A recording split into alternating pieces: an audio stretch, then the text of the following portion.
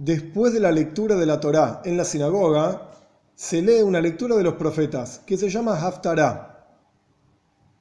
Siempre la Haftarah tiene algo que ver con la parashá de la semana. En la parashá de esta semana encontramos la canción de Moshe. De hecho, este Shabbat se llama Shabbat Shira, el Shabbat de la canción. Después de la canción de Moshe, hubo la canción de las mujeres. Miriam, junto con todas las mujeres, cantaron básicamente la misma canción que los hombres.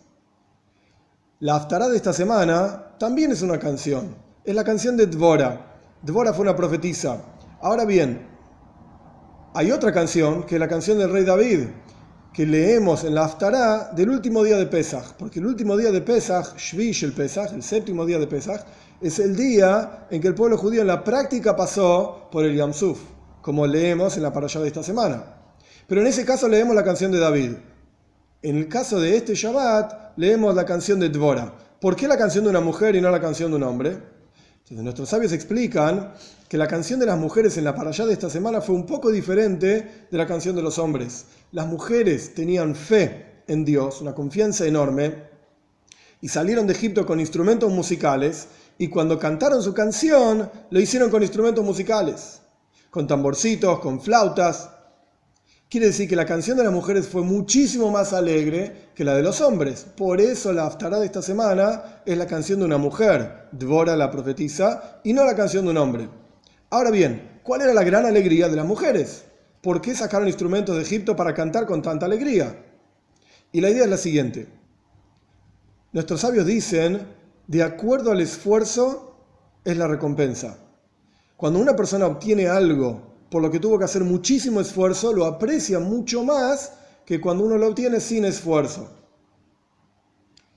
Las mujeres en Egipto tuvieron el trabajo más duro. Si bien los hombres eran los que trabajaban como dice la Torá, con la materia, la argamasa y con los ladrillos, las mujeres tuvieron el trabajo más duro. Y ese trabajo duro era educar a los chicos en Egipto. En una sociedad que pensaba diferente que el pueblo judío, era una sociedad que llevaba a la gente a otro modelo de vida. ¿Cuál era el modelo de vida de Egipto? Esto lo observamos en el decreto que hizo Faraón hacia los chicos judíos. El faraón dijo, todos los chicos que nacen tienen que ser tirados al río. Ahora bien, ¿qué significa esto en forma moderna? El río en Egipto era lo que le daba el sustento a los egipcios toda la vitalidad y la energía de Egipto, todo el crecimiento de Egipto venía del río. Y esto mismo ocurre en la sociedad moderna. Que todo chico sea tirado al río significa que todo chico primero tiene que conocer qué es lo que pasa en la sociedad. ¿Cuál es el último dibujito animado en la televisión? ¿Cuál es el último asunto tecnológico con el cual se puede jugar? ¿Cuál es el último deporte con el cual uno puede hinchar y puede estar participando de eso, etcétera, con mucha vitalidad, con mucho entusiasmo?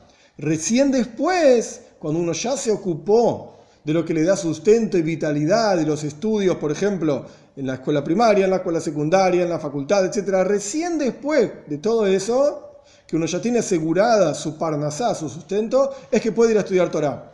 Un poquitito de tiempo de Torah, semanalmente, diariamente, etc. Un poquito nada más. Porque lo principal es el río. Todo chico tiene que ser tirado al río. Y es sabido que las que principalmente se ocupan de la educación en la casa son las mujeres. Por lo tanto, cuando el chico, Dios libre y no está vinculado a Shem, no está educado en forma judía, la mujer es la que más lo siente. Por lo tanto, cuando salieron de Egipto y se anuló el decreto de que todo chico tiene que ser tirado al río, las mujeres estaban extremadamente felices, porque ellas lo sufrieron muchísimo más. Y la enseñanza para nosotros es clara y es simple. Tenemos que ocuparnos activamente de la educación de nuestros chicos.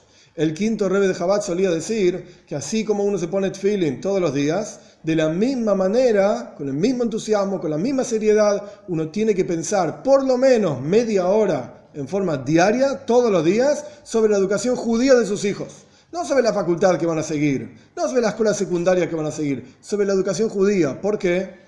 Porque esa es la verdadera vitalidad de un Yehudi, porque ese es el verdadero sustento de la persona, lo que lo va a mantener a la persona aferrado a Shem, aferrado a la Torah, y en la práctica lo va a mantener como un ser humano dichoso. Después de qué va a ganarse la vida, esto Dios se va a ocupar. Así como Dios es el, el, Señor de los cielos y la tierra, sin ninguna duda se va a ocupar de que tal o cual persona tenga su parnasá, su sustento. Pero lo principal es la educación judía. Y por esta cuestión es que las mujeres cantaron con tanta alegría, porque se vieron liberadas del sufrimiento de la sociedad de Egipto, y por esta razón es que la lectura adicional, la Haftarah, la lectura adicional de los profetas de esta semana, es la canción de una mujer, la canción de Dvora.